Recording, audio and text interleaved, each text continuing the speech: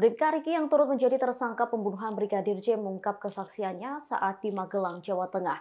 Diakuinya, ia tak melihat pelecehan seksual yang dilakukan mendiang ke istri Verdi Sambo, Putri Chandrawati di sana. Namun Bribka Riki menyebut antara Brigadir J dengan asisten rumah tangga Verdi Sambo, Kuat Makruh sempat terlibat pertikaian. Pengakuan Bribka Riki itu diungkapkan oleh pengacaranya Irman Umar. Disebutnya pada 7 Juli 2022 ia diminta Putri Chandrawati untuk mengantar kebutuhan anaknya yang sekolah di Taruna.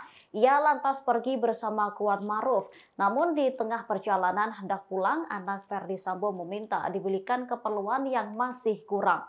Bribka Riki lantas kembali ke sekolah namun tak lagi dengan kuat melainkan bersama Baradae. Sesampainya di sekolah, Bribka RR diminta Putri untuk segera pulang ke rumah. Kembali ke rumah Magelang, Bribka RR langsung naik ke lantai atas. Di sana, Bribka RR bertanya ke Kuat Maruf mengenai penyebab ia disuruh pulang lagi oleh Putri Chandrawati. Tak mendapat jawaban memuaskan, Bribka RR pun ke kamar Putri Chandrawati. Akan tetapi lagi-lagi ia juga tak mendapat jawaban dari Putri alasan dirinya diminta segera pulang.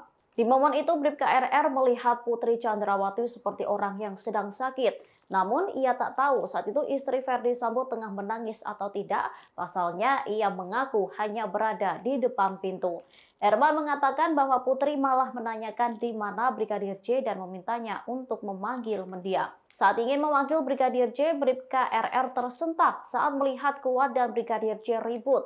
Melihat hal tersebut, Bribka RR pun melerai Kuat yang tampak sewot dengan Brigadir J. Kuat pun tak memberikan jawaban saat ditanya apa alasan dirinya marah ke Brigadir J. Sedangkan Brigadir J juga tampak bingung soal kemarahan Kuat.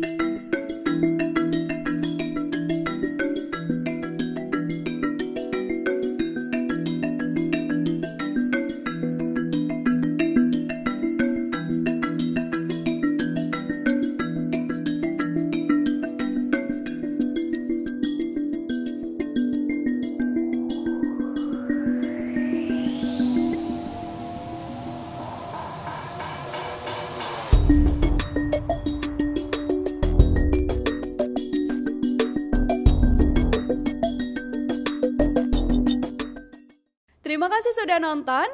Jangan lupa like, subscribe, dan share ya.